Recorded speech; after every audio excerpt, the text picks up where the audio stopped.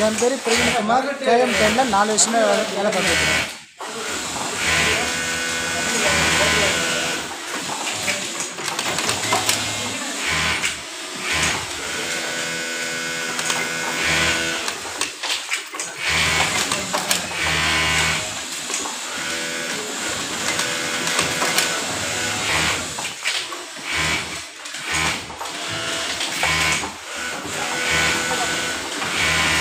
lá amanhã.